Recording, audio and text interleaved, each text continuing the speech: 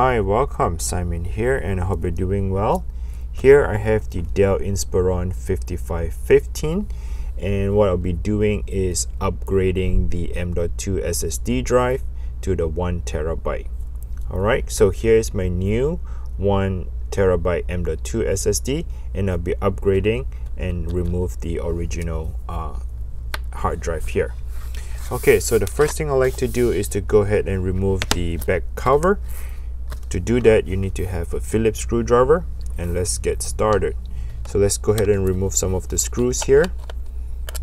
Just letting you know the screws on the uh, top left and top right corner, which is here, the top left, they do not come off. So just leave it as is. You just have to unscrew it. And when you feel like it is enough of unscrewing like it doesn't come off you just leave it as is okay remove the rest of other screws.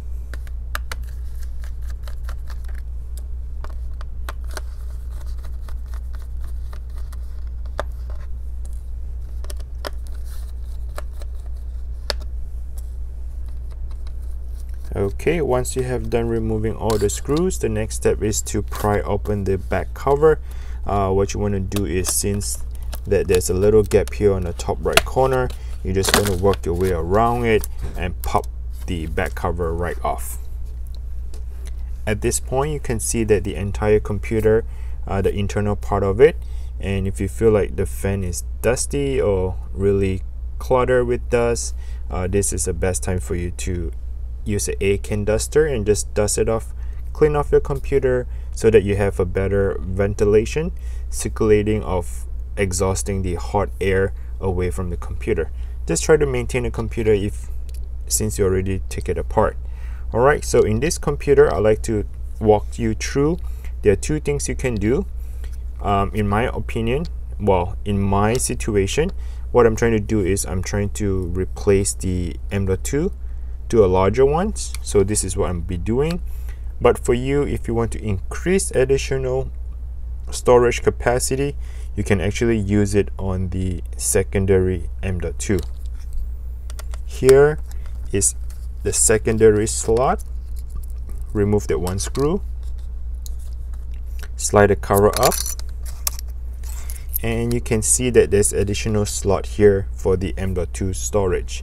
However, you're not allowed to have the full size M.2 installed here because there will have not enough room so you can actually buy the smaller ones the mini M, um, M.2 and slot it in so what I'll do is I'll link them in the description below.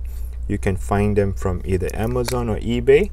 Uh, they will direct you to that place to get the replacement.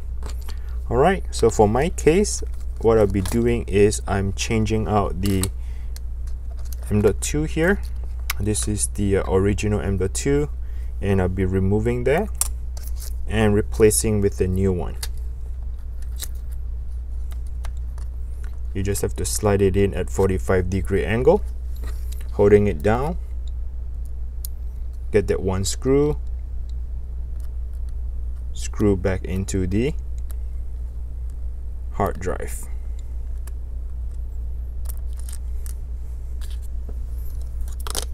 What have I done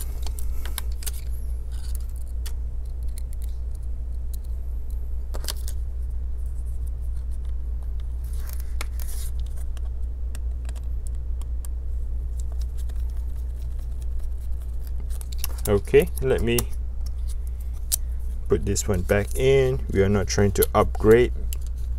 We're trying to change out the hard drive. Okay.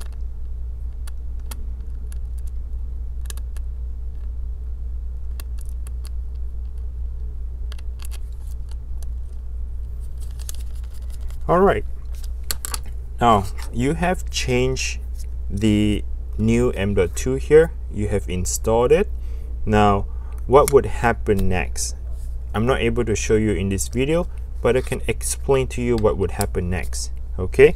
So assuming that you have everything installed correctly and you put the back plate back in and all the screws going all back here now you're going to turn on the computer right? So you're going to turn it around and turn on the computer. What would happen next is that the computer would say hey there's no windows i can't boot to the windows what should i do? Well this is the time where you need to purchase this usb windows installer okay? Uh, if you're not sure where to buy them what I'll do is I'll link them in the description below. Again you can get it from Amazon. Um, you can buy it directly from them and start installing a fresh Windows in it. Now if you do not want to purchase what you can do you can actually um, go to Microsoft website get yourself a USB an empty USB and make a bootable disk. Alright you're allowed to do that. Um, you can download and you know do your own research and make a bootable USB Windows installer. And I'll link them in the description below for you just in case you're not sure what to do. Um, I'll make a separate video for that. Go check it out. Um, also for those of you who wants to clone the original drive to the new drive I'll make that separate video as well.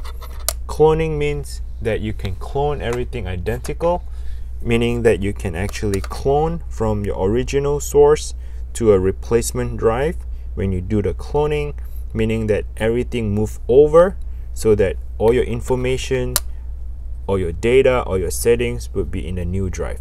And you slide it in you install it in the computer you have everything as how it was before all right so um, I hope this video is helpful if you find the video helpful please smash the like button for me um, if you haven't subscribed please feel free to subscribe I really appreciate you for subscribing. That really helps me keep me motivated to make more of this sort video for you. Thanks for watching. I wish you all the best in your repair and bye now.